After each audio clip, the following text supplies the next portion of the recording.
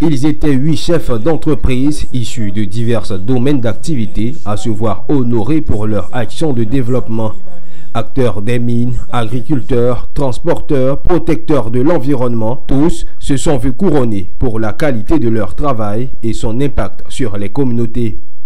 Des distinctions attribuées par l'organisation panafricaine Life Builders, engagée dans la valorisation des organisations locales. Nous sommes heureux de, recevoir ce prix qui est décerné au PDG de Chimenter pour ses actions en faveur de la jeunesse. Chimenter, depuis sa création, œuvre pour le bien-être socio-culturel de la jeunesse d'ici et d'ailleurs.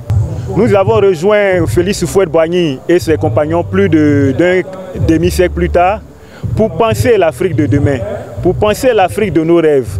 Il s'agissait pour nous de réactualiser ce qui a motivé nos pères dès le départ dans leur prise de fonction à la tête de nos pays.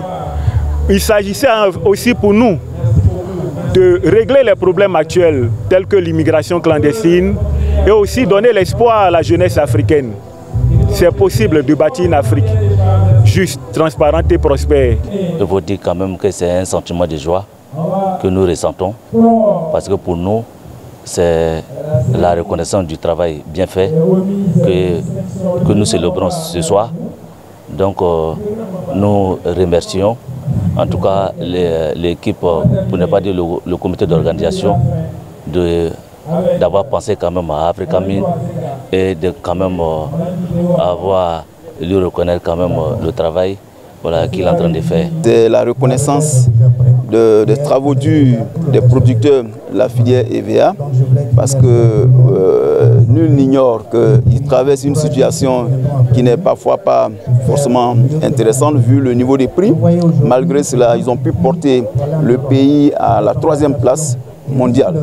C'est un record et à maintenir notre nation au premier rang africain avec plus de 80% de la production africaine. La particularité chez moi, que quoi C'est le travail.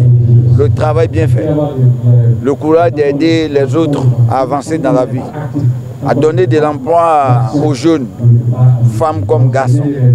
Euh, ce qui m'amène ce soir à recevoir ce prix, c'est tout travail bien fait. Je dis merci à mon épouse, à mes collaborateurs, à mes enfants qui me soutiennent chaque jour, qui surtout pris beaucoup pour moi, surtout mes collaborateurs.